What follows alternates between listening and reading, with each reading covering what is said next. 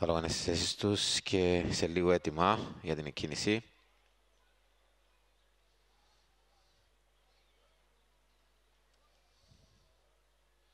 Αυτή τη στιγμή δόθηκε η κίνηση της τέταρτης υποδρομίας για την πρωτοβορία. Προσπαθεί η Ραπουνζέλ να οδηγήσει από την αρχή. Έρχεται από την εξωτερική η Sweet Rap για να διεκδικήσει και αυτή την πρωτοπορία. Και παίρνει την πρωτοπορία η Sweet Rap. Η Ραπουνζέλ ακολουθεί δεύτερο Ζάιτ μπρος. Στη συνεχεία ο μικρός Αρούλης ακολουθεί στην πρωτοπορία. Η Sweet Rap προηγείται δύο μήκη του Ζάιτσμπρο και της Ραπουνζέλ. Ο μικρός Αρούλης πιο πίσω. Ο Καζάκ Playboy στην συνέχεια ακολουθεί με τον Πεσότη στη συνέχεια ενώ πίσω κάπως, μάλλον αρκετά πίσω σε αυτό το σημείο η Χάρης Memory.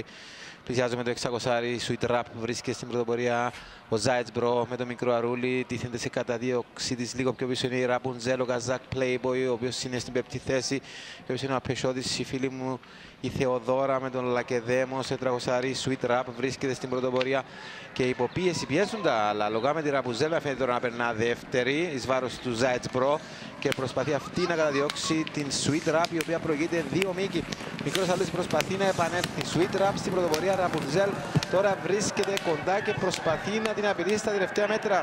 Sweet Rap και Ραπουνζέλ έχουν ξεχωρίσει ο Καζάκ Playboy περνά στην τρίτη θέση. Ραπουνζέλ περνά τώρα στην πρωτοπορία.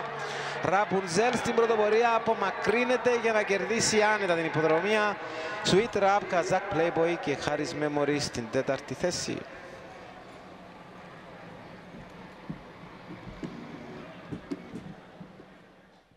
Βλέπω τελευταία μέτρα, η Ραπουνζέλ προσπερνάει την Sweet Rap για να κερδίσει άνετα την υποδρομία. Καζάκ Playboy και Harris Memory στην τέταρτη θέση, ενώ με πρόβλημα από ό,τι φαίνεται δεν έχει τερματίσει ο Ζάιτς Μπρο.